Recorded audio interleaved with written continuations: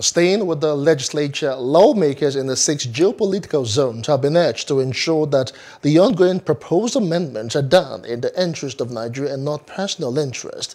The Deputy Senate President Ovie Omo-Agege and the Deputy Speaker Idris Wase, who is also the Chairman Constitution Review Committee, today gave the admonition at the retreat organized towards the review of the 1999 Constitution by the Joint Ad Hoc Committee of the National Assembly and members of the Conference of Speakers. Emmanuel Hijne's report is presented from our studios. While commending the parliamentarians for their dedication and sacrifices in the review exercise, Senator Omo-Agege said the success of the process is hinged on their cooperation and partnership. Adding that the lawmakers would have written their names in gold at the time the National Assembly would pass the proposal in a fortnight.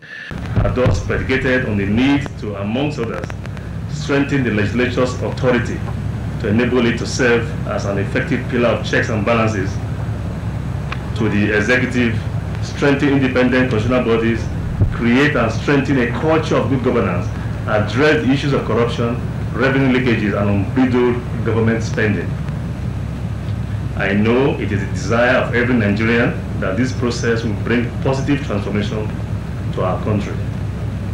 Therefore, we should all leverage this retreat to bequeath to our nation a constitution that speaks to the yearnings and aspirations of every Nigerian.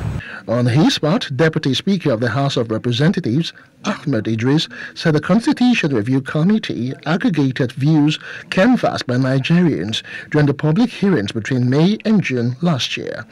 He reminded the lawmakers of the need to put Nigeria first in the course of its assignment. These thematic areas include issues bordering on local government administration autonomy, the legislature, judiciary reforms, state creation, state police, devolution of powers, women and vulnerable groups, strengthening of institutions, good governance, political parties and electoral matters, traditional institutions, fair capital territorial administration, fundamental human rights and national security. Representatives of the Conference of Speakers of State Legislatures in the country, Abubakar Sulaiman, thanked stakeholders for their efforts so far, promising Nigerians to expect a constitution that would stand the test of time.